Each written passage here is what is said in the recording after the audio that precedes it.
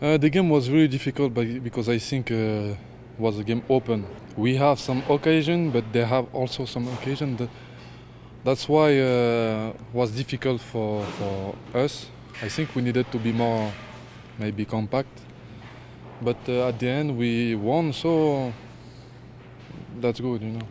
And the reason for this victory is a character, yes, strong character. Of course, there is character because uh, when one team come back, it's not easy sometimes.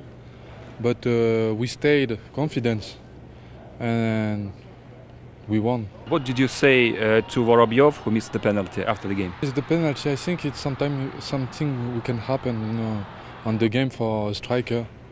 If you don't try, you cannot lose, you know. So he tr- he tried today, and uh, I think the next game uh, he will have another and will score. What can you say about your about your goal? This is my best goal. No, no, it's not my best, but but uh, you know, I shoot with the I don't know how to say, but and uh, how I said before, you know, in this zone we don't need to think. Uh, the the ball just need to go in the in the goal, you know.